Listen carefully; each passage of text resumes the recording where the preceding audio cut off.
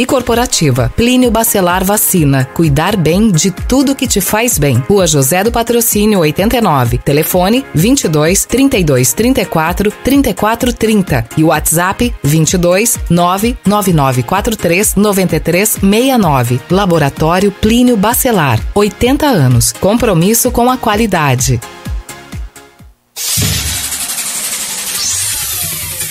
Começa agora o Folha no Ar, primeira edição.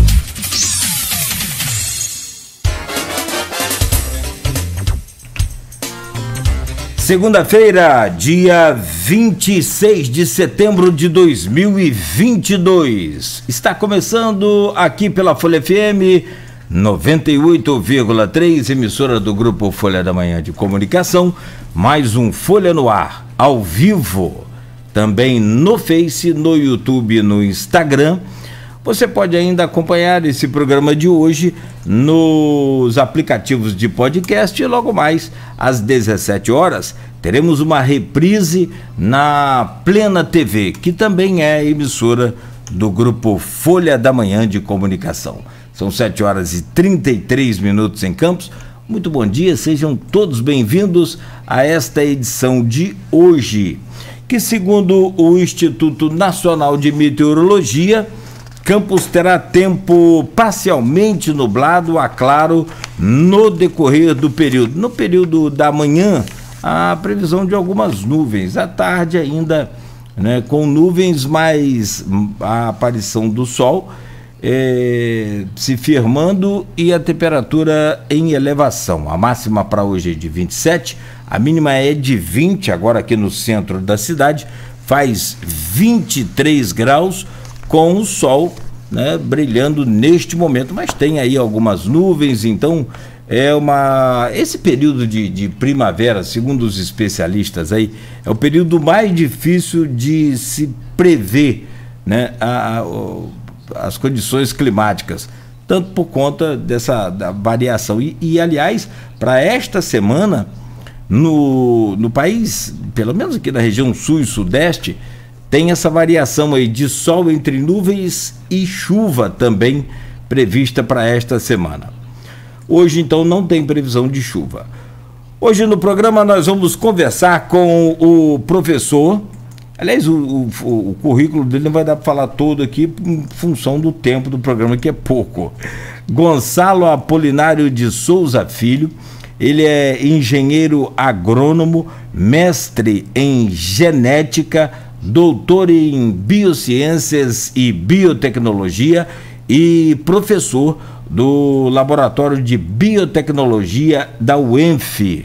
Professor Gonçalo Apolinário de Souza vem para conversar conosco sobre um dos projetos que me chamou a atenção para essa entrevista, que é o projeto Fertilizante do Bem, em parceria com a empresa Águas do Paraíba. E eu tentei pesquisar na internet, não tem né, nenhuma informação ainda detalhada sobre o projeto. Tem o lançamento do projeto, tem o anúncio da parceria, mas não tem detalhes do projeto, o que deixa a entrevista bem interessante, porque a gente vai começar aqui do zero realmente. A gente quer saber tudo sobre essa importante, esse importante projeto e agora ficou evidenciado aí muito exposto durante o início da guerra na Ucrânia, né, de que o Brasil é basicamente dependente de, de fertilizantes da Rússia, por exemplo, que é um dos maiores produtores do mundo.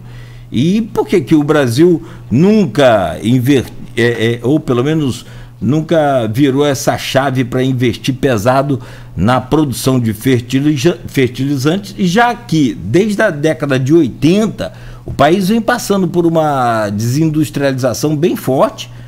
A gente pode comparar em outros momentos, mas você vai percebendo aí esses últimos anos, então, né, com grandes fábricas, até famosas, fechando aqui no Brasil, montadoras de carro fechando no país e voltando a sua potência para a, a agricultura. O que é bom. Não quer dizer que país é, industrializado ele seja é, é, o melhor, a melhor opção. você tem ter alguma, alguma commodity, você tem que ter algum né, produto para poder né, tocar o, o, o, país. A agricultura é muito forte, a agricultura é sempre uma commodity muito, muito boa, muito, muito forte. E já que o país então tem tanta produção, né, é um dos maiores produtores de grãos do mundo, por que não investe em produção de fertilizante? E o cientista Gonçalo Apolinário de Souza Filho vem para conversar conosco sobre essa produção de fertilizante no Brasil, mas muito melhor do que ser no Brasil é aqui em Campos um projeto aí e que ainda vai ser altamente benéfico ao meio ambiente. Então a gente fala sobre isso. O, outras informações também dessa área de genética.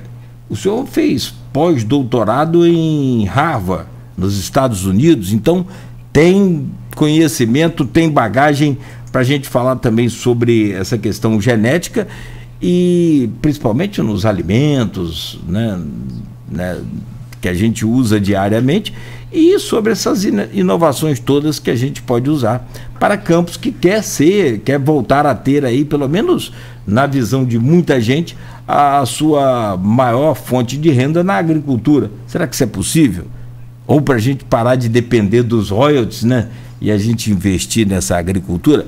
Vamos entender um pouco mais sobre essas possibilidades também aqui com o professor Gonçalo. Dentro de instantes, Gonçalo, já trago o seu bom dia né, e a sua participação, mas desde já agradeço aí imensamente a sua presença aqui hoje. No oferecimento de Proteus Serviços de Saúde e Medicina Ocupacional, qualidade certificada ISO 9001-2015, Unimed Campus, cuidar de você. Esse é o plano. Laboratórios Plínio Bacelar e Plínio Bacelar Vacina, uma clínica moderna especializada em vacinação e o apoio é de Green Energia Solar. No jornal Folha da Manhã, que já circulou sábado nas bancas e está circulando até hoje. Você confere com a gente aqui nas manchetes principal o impresso.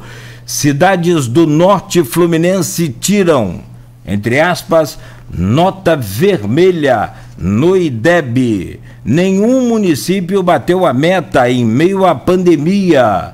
Isso é outro caso seríssimo também, né? Que precisa ser revertido essa pandemia que mexeu e muito com essas crianças. Do Noroeste, Miracema lidera o ranking do Rio de Janeiro mais uma vez. País registra estabilidade, mas não alcança a projeção de 2021. É capa da Folha. Violência na Baixada na mira da polícia. Operação Terra Plana 2.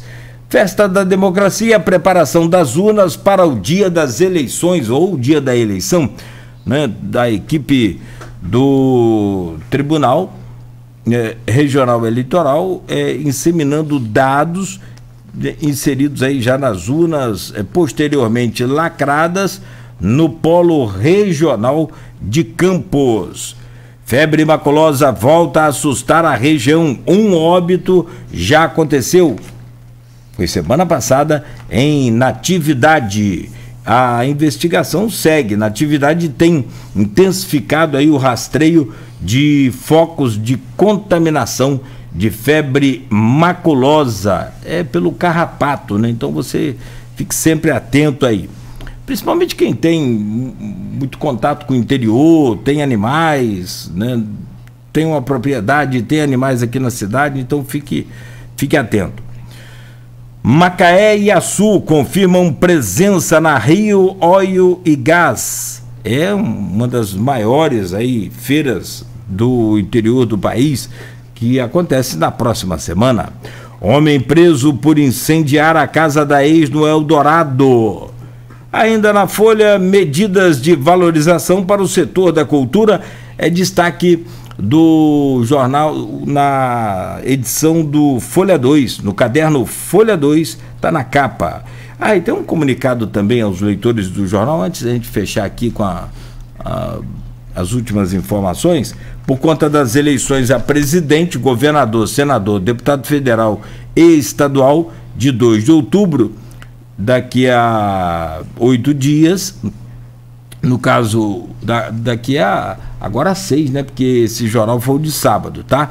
A Folha da Manhã não circulará no próximo sábado, dia 1 excepcionalmente. Circularemos no domingo é, da festa da, da, democracia no Brasil. Então o jornal não terá edição de sábado, como é essa que está aqui, e terá edição domingo do dia da, da eleição.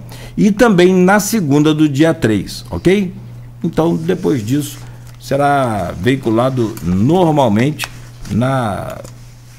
É, circulado né, normalmente aí nas, nas quartas e sábados. Mas excepcionalmente por conta desse primeiro turno, agora dia 2, próximo domingo, o jornal Folha da Manhã estará nas bancas e também nas casas dos assinantes. Passada rápida aqui para a gente começar a nossa entrevista, pelo portal folha1.com.br, médico é acusado de tentativa de abuso sexual contra menina de 4 anos. O caso chama a atenção. A mãe disse que o pediatra puxou a menina pelas nádegas e aproximou-a das suas partes íntimas como se fosse deitar por cima dela. O fato está sendo investigado. Em live, garotinho ataca Vladimir e afirma ser candidato. O ex-governador cobra apoio à candidatura de Clarissa ao Senado e cobra também né, é, o filho que virou as costas para ele.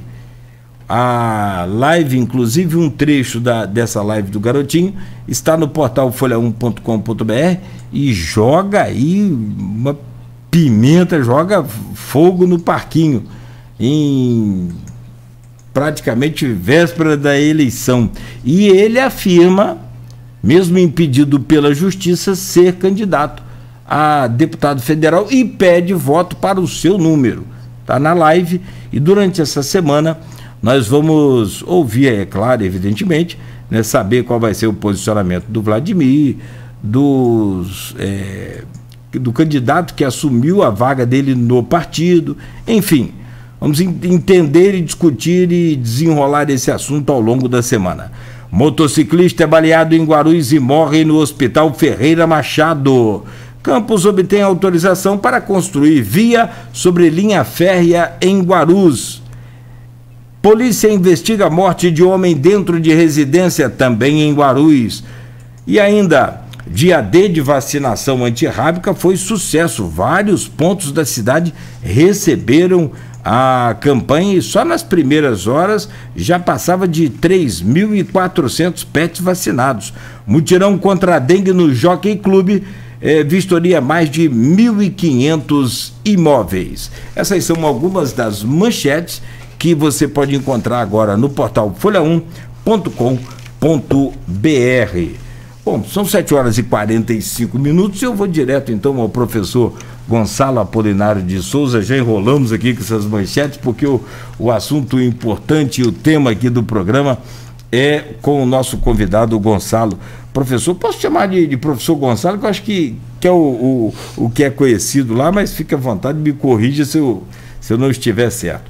Professor, seja bem-vindo ao programa, muito obrigado por aceitar o nosso convite é, conversávamos ontem, e o que eu achei de mais interessante é porque a gente sempre pesquisa sobre todos os assuntos.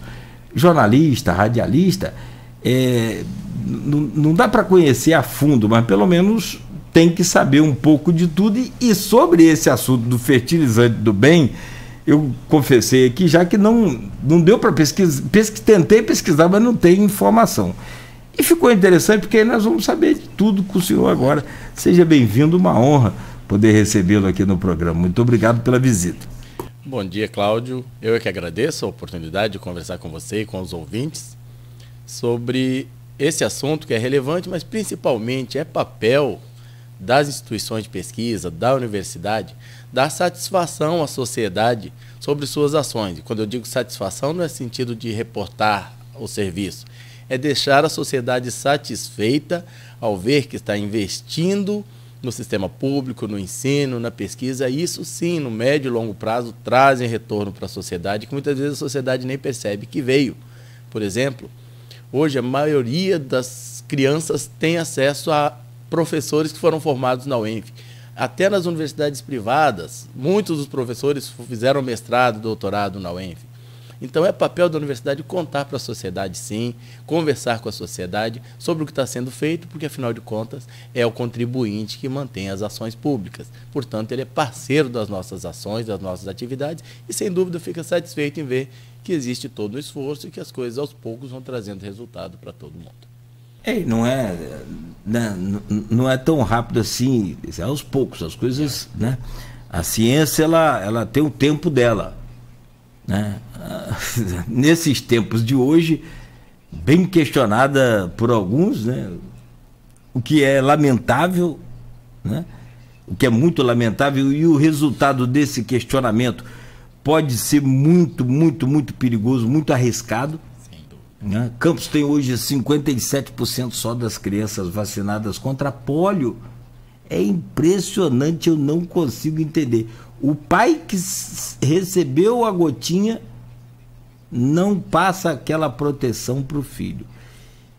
E deixa o filho correndo o risco de ter paralisia infantil por conta de não acreditar na ciência, de colocar em, em, em dúvida a gotinha que ele tomou e que salvou ele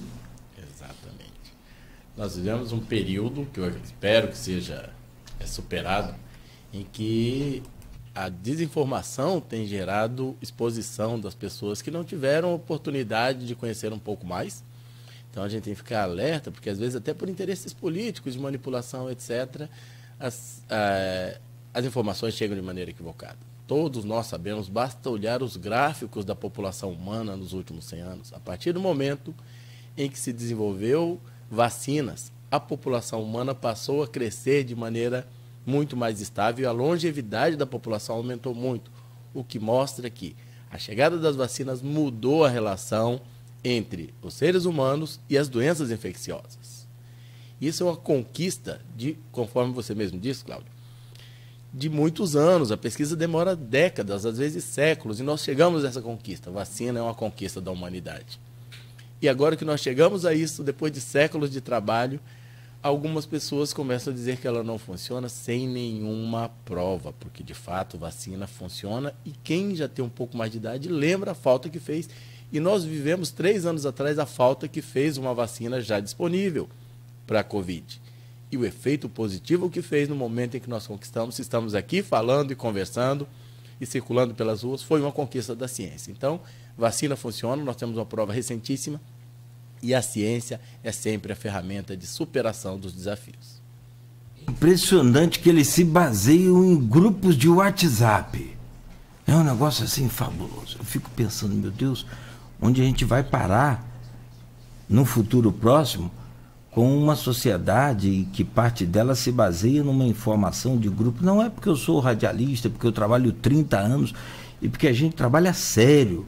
A gente busca informações aqui a fundo, a gente não sai assim divulgando só porque viu ou porque ouviu, a gente quer saber de tudo primeiro para poder divulgar. Eu, eu, tenho uma, uma coisa na minha vida assim, entre porque é, é, sempre assim, o que fala primeiro, às vezes tem mais audiência do que quem fala depois.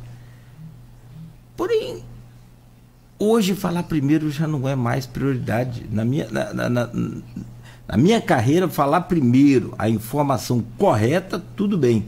Mas falar primeiro uma informação que você não tem nenhuma base sobre ela, eu prefiro não ser o primeiro a informar. Sem problema nenhum, sem, sem medo de falar. Eu prefiro dar informação é, depois do que o furo de reportagem incerto. O furo de reportagem é, é, é conta pra gente, muito, bom. Mas se, se você tem certeza, se tem base, se você tem é, prova do que está falando. Se não tem, então espera.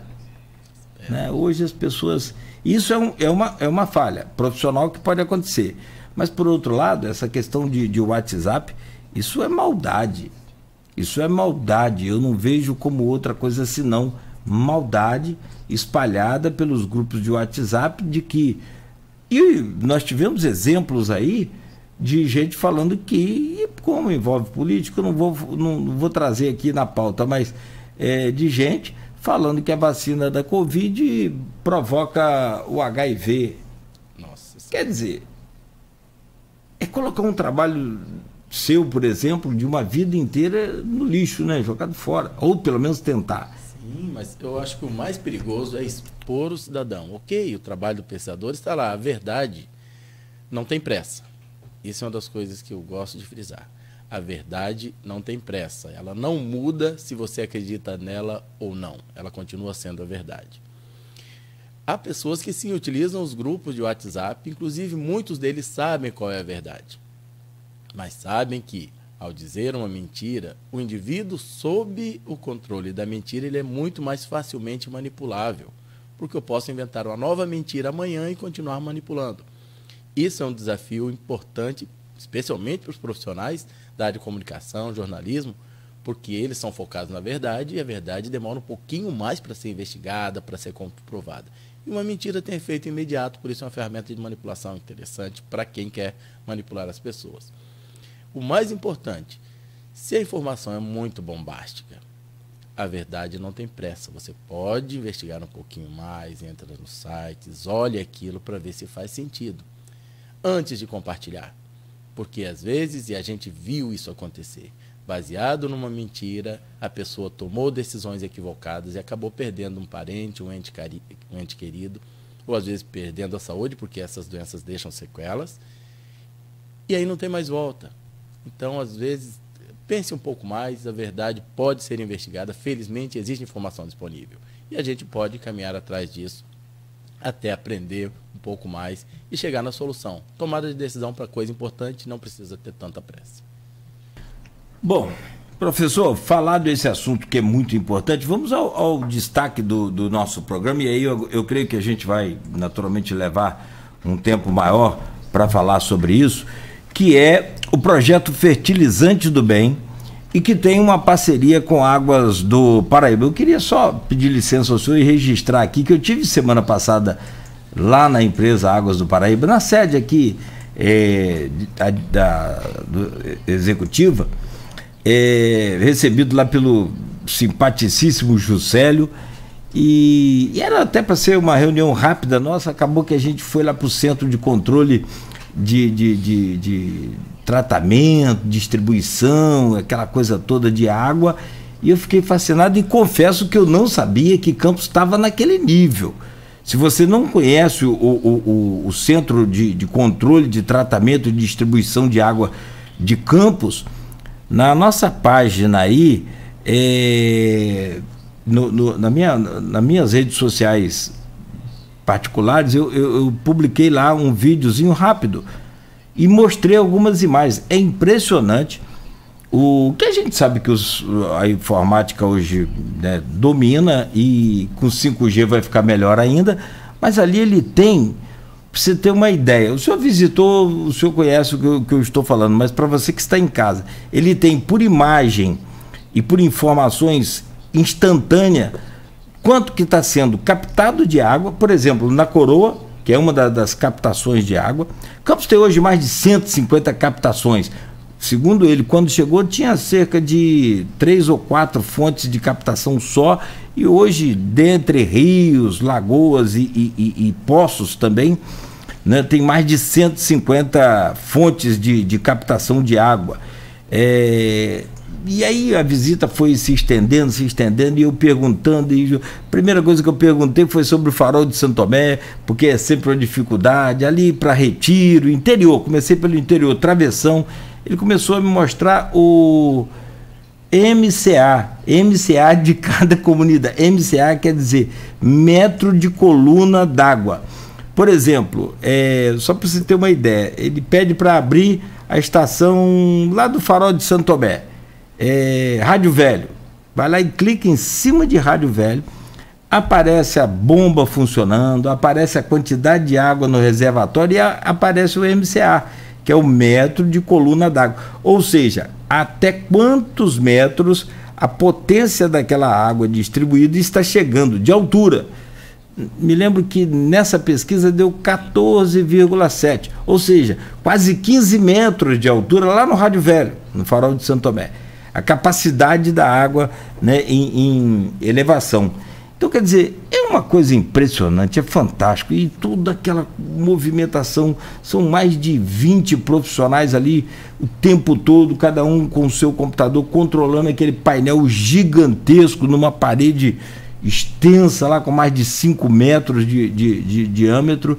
E eu fiquei encantado com aquilo tudo. E aí foi depois a parte do saneamento, do centro, a captação de esgoto do centro para jogar para elevatória, pela elevatória, para fazer o tratamento ali em aqui na Chatuba, né, que é o, o, tratamento do esgoto, e ele me explicando de onde vem cada parte daquele esgoto, é uma quantidade de esgoto impressionante. Eu postei aí, quem quiser acompanhar lá, fique à vontade.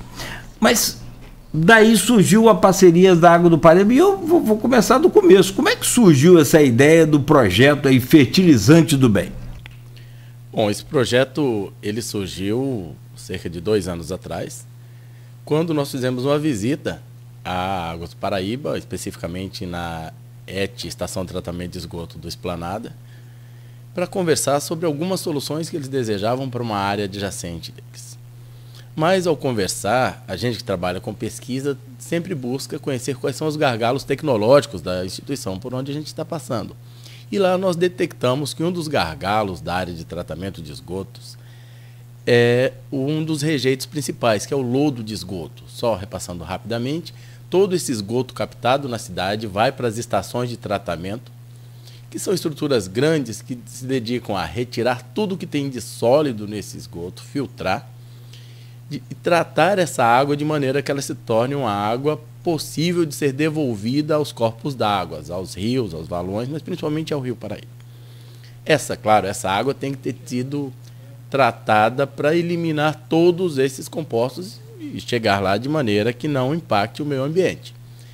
Só que esse processo de filtração gera um lodo, né? um resíduo.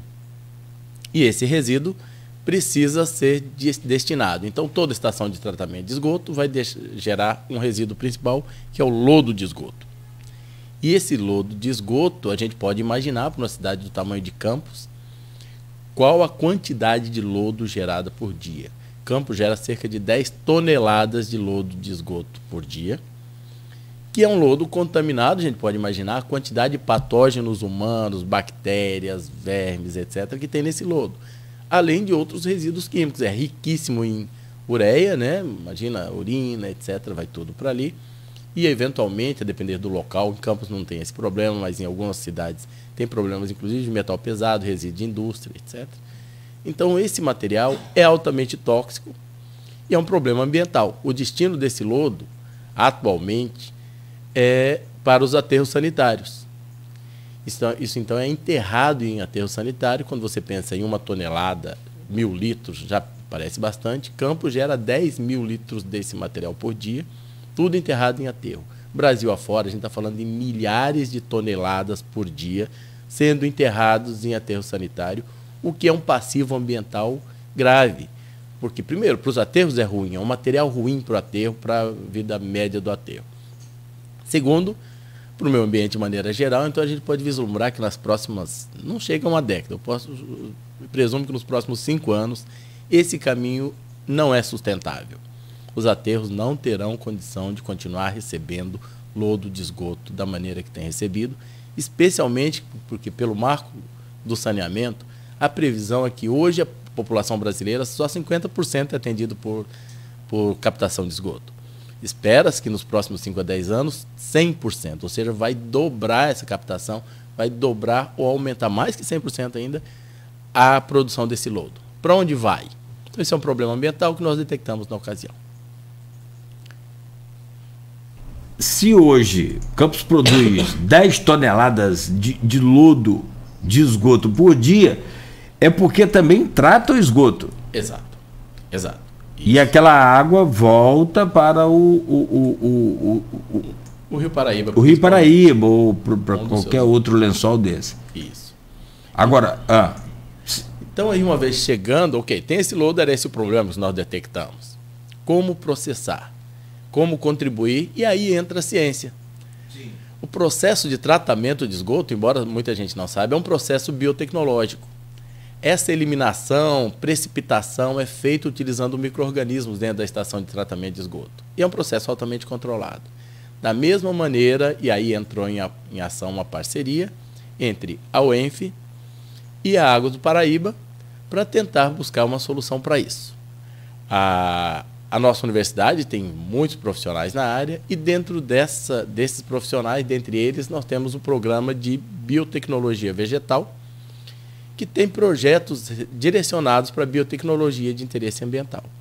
Foi aí que nós iniciamos uma parceria, claro, tem toda a questão documental, foi preparada, onde a Água do Paraíba entra com o suporte ao projeto, inclusive custeando toda a infraestrutura de trabalho que faltava para tocar o projeto, e a UENF entra com o know-how, o conhecimento científico, as pesquisas, e uma das coisas boas dessa parceria é que a universidade se predispõe e executa capacitação dos profissionais de dentro da empresa.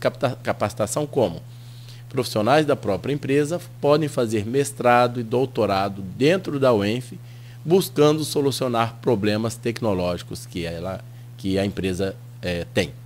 Isso tem caminhado realmente muito bem, o projeto tem avançado, ele já está chegando ao segundo ano, ao final do segundo ano, e ele é composto de várias é, etapas. A primeira etapa é desenvolver a tecnologia. E como é isso? Como a gente vai transformar esse lodo em algo que seja interessante? Esse lodo, através da biotecnologia, a gente conduz processo de compostagem, onde o lodo é transformado em um fertilizante orgânico. Embora todo mundo fale, pô, mas compostagem é algo relativamente simples de se fazer. Muita gente já faz, mas faz isso de maneira informal. Quando nós falamos em compostagem de 10 toneladas por dia, 300 toneladas por mês, já não dá para fazer de maneira artesanal. Em, em, escala industrial, então o processo tem que ser altamente controlado. Controlado, focado na eficiência, mas tem que ser controlado principalmente focado na qualidade do produto final. O processo tem que eliminar todos os patógenos, tem que ter um laudo de qualidade disso e um controle de qualidade para sair sempre igual. Então, o projeto começou com dissertações de mestrado para atender essa primeira etapa, desenvolvimento da tecnologia. Ou seja, nessa primeira etapa seria, seria e foi, né, encontrar todas as condições para transformar o lodo de estação de tratamento de esgoto em um produto estável, não tóxico ambientalmente e possível de ser utilizado na agricultura. Essa foi a fase 1. E essa fase nós já concluímos, então hoje o composto orgânico produzido através dessa tecnologia já tem a qualidade e a segurança de utilização. Numa segunda fase, é, já gerado isso, então isso foi uma dissertação de mestrado que já está caminhando para a conclusão, de uma funcionária, de uma servidora da, da Águas do Paraíba, que é a Jéssica Rodrigues, que ela conduziu muito bem, ela e toda a equipe, então a parceria entre a UENF e a Águas do Paraíba tem funcionado muito bem, porque a empresa abraçou o projeto, os colaboradores da empresa, vários, desde os técnicos de operação da estação de tratamento de esgoto, todo mundo ficou muito contagiado com a possibilidade de dar uma destinação ecologicamente interessante para um problema que eles acompanhavam todo dia. Então a equipe toda se envolveu, e nisso eu parabenizo os gestores da, da Águas Paraíba por essa sensibilidade em resolver um problema que é importante ambientalmente, aí entra o Juscelio, o Silas, Sim. que tiveram a, a, visão estratégica dessa solução e tem caminhado muito bem até a fase 1. Então, fase 1 concluída, desenvolvemos a tecnologia. A gente, sim, com a tecnologia desenvolvida entre a UENF e a Água do Paraíba, tem tecnologia para transformar lodo de esgoto em um produto ambientalmente sustentável e útil para a agricultura. Fase 1 concluída. Fase 2, como utilizar esse adubo. Quando a gente fala de ah, um adubo orgânico pode ser usado na agricultura. Mas as plantas, quem trabalha com agricultura sabe disso, que cada cultura tem uma demanda nutricional diferente. E que o composto orgânico tem um balanço de nutrientes dele, que não dá para ficar mexendo, ele é aquilo. Para cada cultura, quanto de nitrogênio, fósforo, potássio essa, esse adubo fornece? Então agora estamos na fase 2 descobrir qual é a concentração desse adubo que pode ser utilizado para cada cultura antes de oferecer isso para o agricultor. E nem sempre você vai atender toda a demanda nutricional que aquela cultura tem. Então a gente tem que dizer para o agricultor, ok, você vai substituir o seu adubo químico por isso e vai complementar com isso, isso e aquilo. E no final da história tem que ser economicamente interessante para o agricultor e tecnologicamente viável, ou seja, ele tem que manter a produção dele e, se possível, aumentar a produção dele. Então é nessa fase 2 em que nós estamos já validando a utilização do produto. Novamente, dissertação de mestrado, tese, trabalho, Águas Paraíba cedeu uma área que nós chamamos de Unidade Integrada de Pesquisa em Bioconversão de Resíduos, onde esses trabalhos estão sendo desenvolvidos. Essa é a fase 2 de um projeto desse.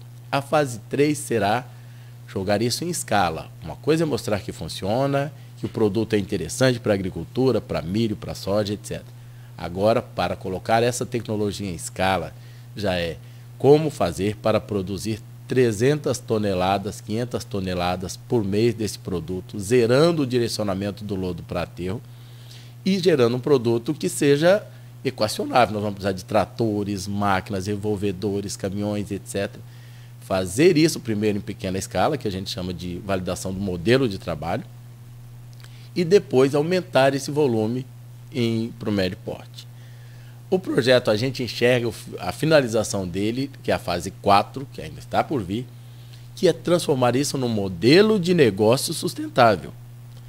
Não adianta ser bonito, trazer uma solução e o modelo não se sustentar. Uma operação dessa tem custos, tem custo financeiro e hoje, se nós pensarmos a transformação de lodo de esgoto em um, em um adubo orgânico, ele é inviável economicamente. Então, sendo inviável financeiramente, as empresas não farão, porque ninguém pode perder dinheiro hoje em dia, claro. O agricultor não utilizaria. Então, o modelo que nós vislumbramos para a fase 4 é a criação de uma startup que, embora o custo de produção do composto, transformação do lodo em composto orgânico, não a conta não fecha, essa startup, ao vender o produto para os agricultores a um custo que a gente já calculou que é viável e interessante para o agricultor, essa empresa vai, ter, vai se tornar sustentável. Ela lucra com um pouco do recurso que é repassado pela empresa que faz direcionamento do lodo e o, o, valor da venda do produto, que aí sim já saberemos quanto cada agricultor pode utilizar, qual a margem de retorno, qual é o preço disso e é viável. E aí essa startup começa a rodar. Ao fazer uma startup, tem vários interesses nisso. Primeiro, ela tem base tecnológica. Tem base tecnológica para contornar os eventuais desafios. Segundo, ela gera emprego para os mestres e doutores formados no Norte Fluminense que conhecem o assunto. Terceiro, sendo viável economicamente, essa startup tende a crescer porque esse problema será igual ou é parecido em muitas cidades do Brasil. E assim a, solu a solução se expande sem que o sistema público tenha que ficar em cima dele, porque ele já integralizou dentro de uma empresa do Norte Fluminense, liderada por gente formada aqui e resolvendo um problema ambiental grave e econômico importante, porque os nossos agricultores hoje não suportam mais o custo da, da utilização de adubo químico. Para vocês fazerem ideia, o preço em dólar do fosfato, da adubação fosfatada, mais que triplicou nos últimos cinco anos. Em dólar. Ou seja, ele gastava 200 a 250 dólares por tonelada, hoje já está na casa de 750 dólares. E a, o produto agrícola não acompanhou. Se você falar, ah, não, mas a agricultura está dando muito lucro. Pensa que a, as commodities estão dando lucro porque a nossa situação econômica ainda é problemática e o dólar está disparado. Sim. Se o valor do dólar cair para o valor que deveria ser, como foi historicamente, ou pelo menos alguns anos atrás estava, as nossas commodities caem de preço violentamente. E aí, a nossa agricultura vai ser competitiva com esse preço dos adubos? Creio que não.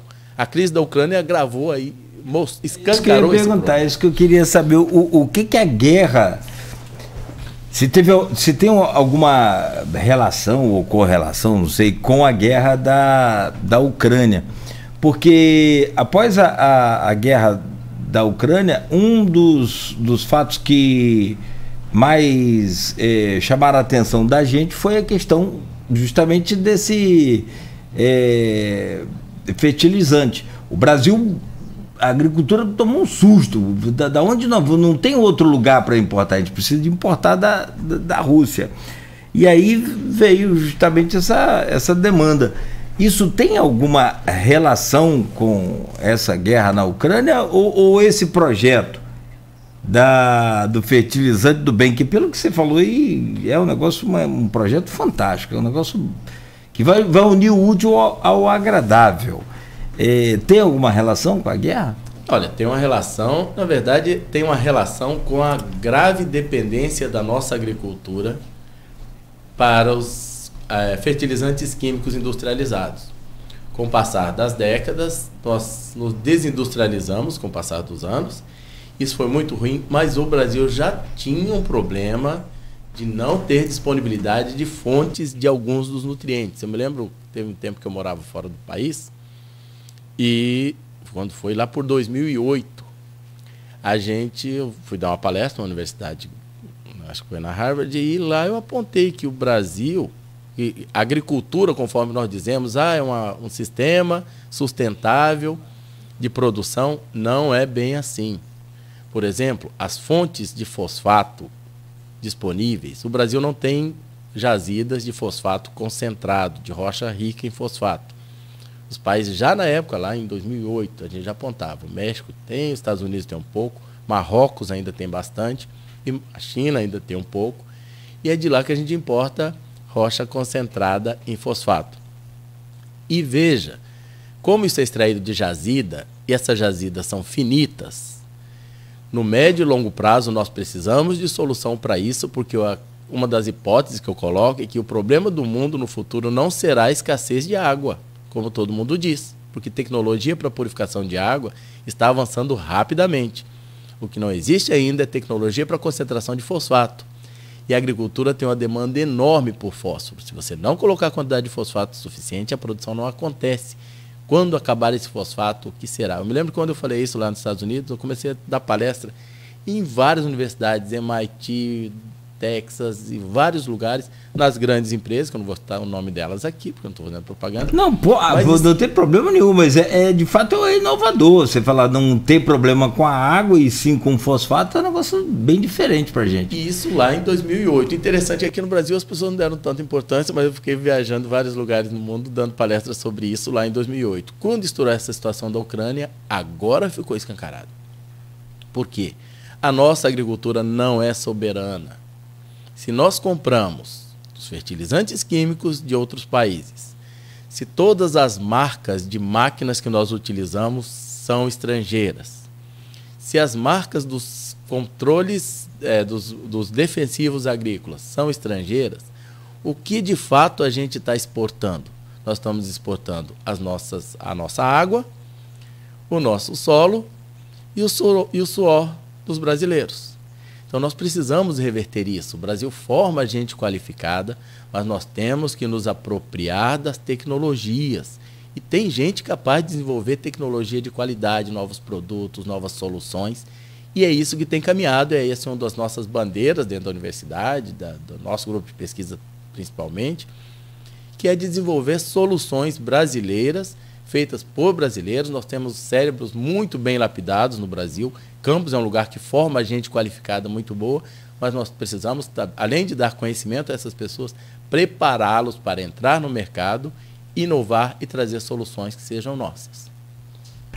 Professor, o senhor chegou até a fase 3, fase 4 do, do, projeto, é, mas eu, eu quero só voltar um pouco, e aí eu vou fazer um gancho para o próximo bloco, sobre custos desse. De, é, a viabilidade financeira, a, via, a viabilidade comercial desse produto. Que aí vai entrar agora uma, uma startup, como o senhor falou, é, que pode ser tanto patrocinado por uma empresa como a Águas do Paraíba, como não, pode ser também uma coisa né, de fora. Aliás, aqui no Porto já, já se tem essa, esse projeto também de produção de fertilizante, mas a partir de outros, é, outras matérias-primas que não tem nada a ver com essa questão do resíduo sólido, que é esse lodo do esgoto, que é altamente tóxico, né? Só a gordura de cozinha deve ser um negócio absurdo, né? Porque eu imagino essa, esse óleo de cozinha, né? Óleo de fritura, óleo do dia a dia ali, deve ser um dos componentes mais é um tóxicos, não é? É um dos componentes problemáticos, né? Os ácidos graxos eles se aglomeram e formam grandes é, estruturas dentro das tubulações. Então, inclusive para as empresas de saneamento, um problema grave é o, o óleo é, jogado nas redes. Em determinados países na Europa, eles têm sistemas específicos de coleta desse óleo para que ele não entre nas tubulações. Sim. Porque grande parte do custo de manutenção das tubulações de esgoto vem dos danos causados principalmente pelos óleos. Então, também os óleos podem ter soluções biotecnológicas, a gente já está discutindo para isso. E aí, novamente, começa com um projeto, uma parceria, um jovem desenvolvendo seus conhecimentos, fazendo mestrado e doutorado, encontrando solução para o problema. E eu vou voltar então a essa fase 3 aí, só para a gente já fechar essa questão do fertilizante do bem, mas sobretudo é, é, a gente que é brasileiro, essa coisa assim, gosta muito de, de, de saber data, né? Para quando é que a gente pode ter essa efetivação desse tratamento.